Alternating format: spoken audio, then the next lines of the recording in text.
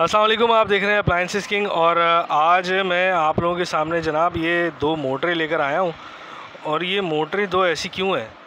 अच्छा लोग donkey pump के ऊपर लगाते हैं मेन लाइन से पानी खींचना होता है, ये मोटर लगी हुई है और अब जो है वो थोड़ा सा रुझान इस मोटर का आ गया है। तो इस मोटर में और डोंकी पम्प में बुनियादी तौर पर फ़र्क क्या है?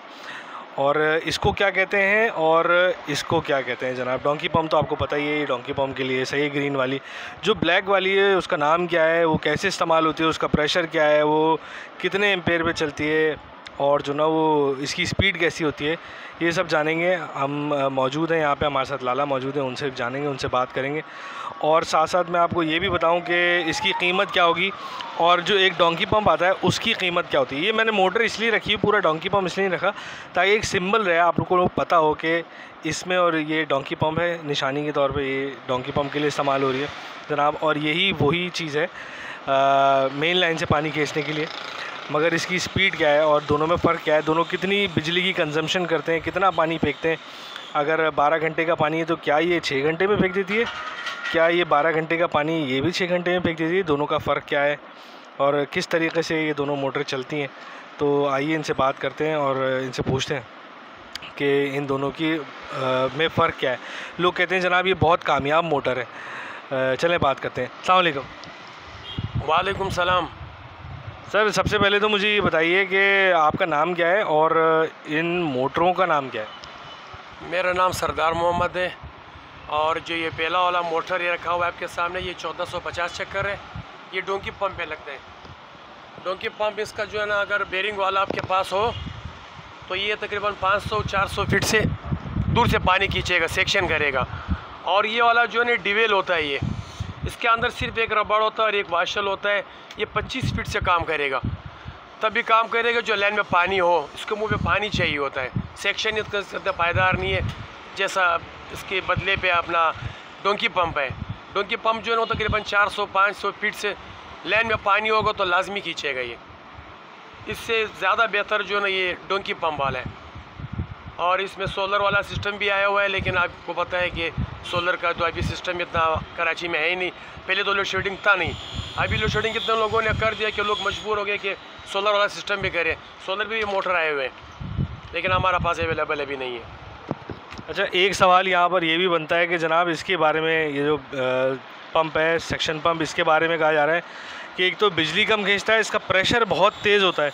क्या ये सच है? असल में बिजली जो है ना बिजली इसके और इस दोनों के बीच में कोई फ़र्क नहीं है। ये भी एक पावर है और ये भी एक पावर है। हाँ ये है कि इस इसमें जो है ना ज़ाहिर सी बात है आ, वो है बोकी वोकी नहीं है इसमें। इसमें सिर्फ़ शार्ट लगा हुआ है इसकी स्पीड ज़्यादा होता है लेकिन ये करीब से काम करता है दूर से काम नहीं करता 20-25 फीट पे काम करते हैं। जैसे लोग शेरशाह वाला कहते हैं ना कि ये 50-60 फीट पे उस पर कामयाबी नहीं है क्योंकि हमने दिया हुआ है लोग इसकी शिकायत करते हैं। अच्छा आप ये कह रहे हैं कि डोंगी पम्प कामयाब है बुनियादी तौर पे? सही है। और ये जो सक्शन पम्प है, ये कामयाब नहीं है। यानी कि जो ये लोग ले रहे हैं, उनको मसाइल का सामना है, ये ख़राब हो जाता है। ख़राब जब हो जाता है ना, इसका सामान जो होता है ना, रबड़ वगैरह, आम दुकान पे नहीं मिलता इसका। ये लालू के तो मिल जाता है, शेरशाह पे मिल जाता है। हर दुकान पे अवेलेबल नहीं है। डोंकी का, डोंकी पंप का आपको पता है कि हर हार्डवेयर की दुकान की हर जो मशीनरी होता है, उसमें डोंकी का हर सामान मिल जाता है। प्लेट हो गया, वाल हो गया, बोकी हो गया, सब मिल जाता है। इसका सामान हर दुकान पे नहीं मिलता।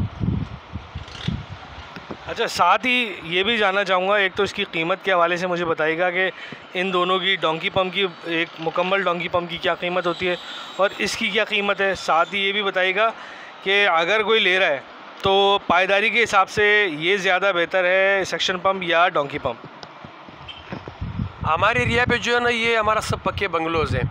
यहाँ पर जो है ना, ये जो है ना, पहले जो था, आज से दस पंद्रह साल पहले, ये कामयाब हो सकता था क्योंकि आबादी कम था, पानी ज़्यादा था लेनों में। अभी आबादी बढ़ गया, हमारे इस एरिया पे जो मेट्रोविल में, ये कामयाब नहीं है। लोग ज़्यादातर जो है ना, ये लेके जाते हैं डोंकी पम्प क्योंकि पानी का मसला ज़्यादा है, पानी कम है लेनों में। आबादी ज़्यादा है, ये काम ज़्यादा है, ज़्यादा कामयाब है ये डोंकी पम्प और इसका कीमत आपने पूछा, अभी क्या बताए? आपको पता है कि पेट्रोल साठ रुपये भी बढ़ा दिया शाहबाज शरीफ की हुकूमत ने। इसका रेट जो है ना बिल्कुल एक जगह पे रुक नहीं रहे जैसे मैं अभी आपको ये दे दूँ, फ़र्ज़ करो, दस हज़ार रुपये का सेट दे दूँ, जब मैं मार्केट जाऊँगा तो वो साढ़े दस, ग्यारह का होगा। तो रेट का जो है ना अभी कन्फर्म पता नहीं है कि अभी क्या क्या रेट चल रहा है इसका। अभी मज़ीद और रेट बढ़ेंगे इसका। अच्छा एक अंदाजे के मुताबिक अगर इसकी कीमत मैं आपसे पूछूँ, कि एक अंदाजे के मुताबिक इसकी कीमत क्या होगी?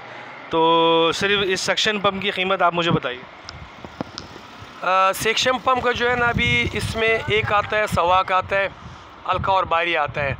जब शुरू शुरू में था आपको तो पता है कि रेट बहुत कम था, अभी तो रेट इस तरह का है कि अभी जो इसका नया रेट आया हुआ है सेक्शन पम्प का, जो डोंकी पम्प कहलाते हैं, उसका अभी रेट जो चल रहा है, इक्कीस हज़ार, बाईस हज़ार चल रहा है, और ये जो डिवेल आ रहा है, इसका पहले रेट बहुत कम था, अभी रेट डबल हो गया, दुगना हो गया। समझ लो बारह हज़ार तेरह हज़ार रुपये का ये वाला सेट मिल जाता है अभी जो आज की प्राइस है।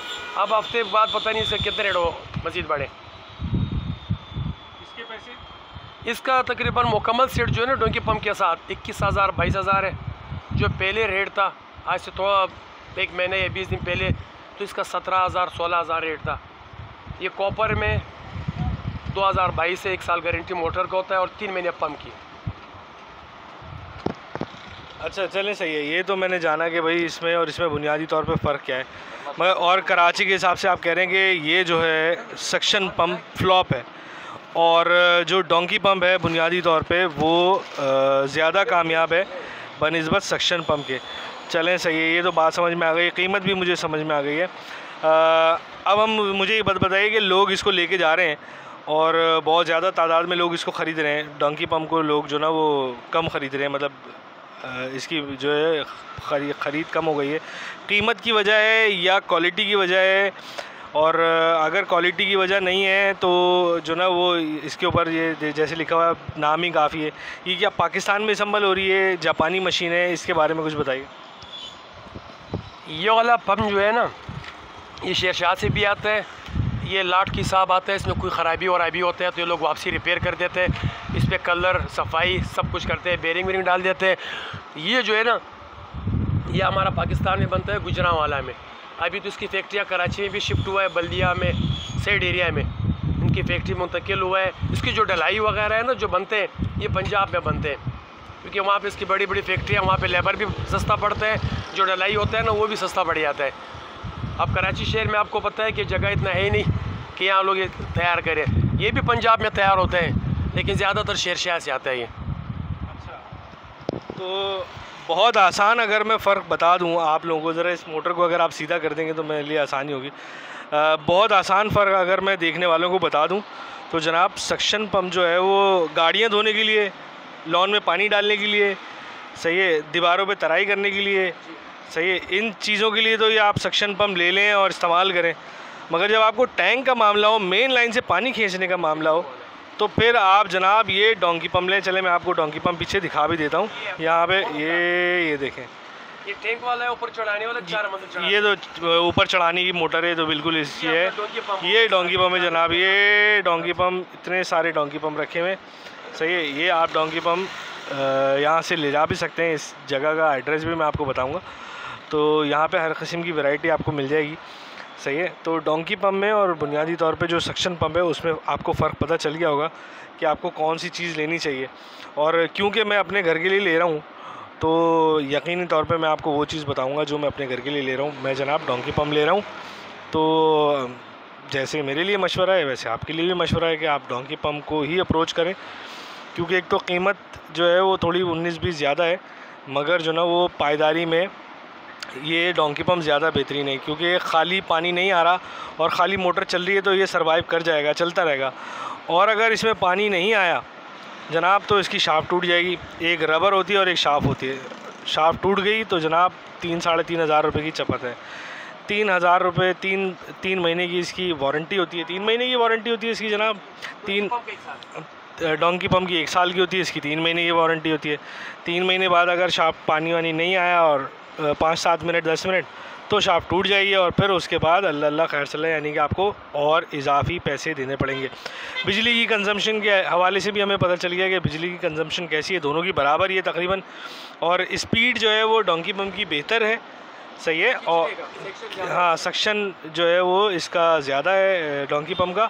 बनस्बत इस सक्शन पम्प के जो आजकल चल रहा है, ये सिर्फ़ एक शक्ल मैंने आपको दिखाई है। वैसे इसकी मुख्तलिफ़ शक्लें और कहीं, मैं भी आपको दिखाने की कोशिश करता हूँ, अगर यहाँ पर होंगी मौजूद तो। ये देखें जनाब, एक चीज़ ये रखी हुई है, ये मुख्तलिफ़ शक्ल का है और इसका सिलसिला ये है कि ये भी सक्शन पम्प है और ये भी शेर शाह वगैरह और बेसिकली ये जहाज़ों में फ़िट होते हैं, ये जापानी आइटम है। और हम लोग जो ना, इसको समझते हैं जनाब कि कोई तोप चीज़ आ गई है। वहाँ पे तो समंदर का पानी जो ना, वो होता रहता है तो हमको पता नहीं चलता, मशीन को भी पता नहीं चलता, वो चलती रहती है। ये उसके लिए तो सिर्फ़ पानी ज़रूरी है। तो जनाब, ये है बुनियादी तौर पे मोटर के बारे में डोंकी पम्प और सक्शन पम्प के बारे में सारी तफसील। और आपको पता चल गई है और आप जो है वो डोंकी पम्प को, क्योंकि मैंने भी अप्रोच किया है, सारी रिसर्च के बाद तो आप यकीनी तौर पे जो है वो इसको अप्रोच करें, ये ख़रीदें और डोंकी पम्प आपके लिए बहुत फ़ायदेमंद रहेगा। अपना बहुत ख्याल रखिए, हमारे चैनल को लाइक कीजिए सब्सक्राइब कीजिए और देखते रहिए अप्लाइंसेस किंग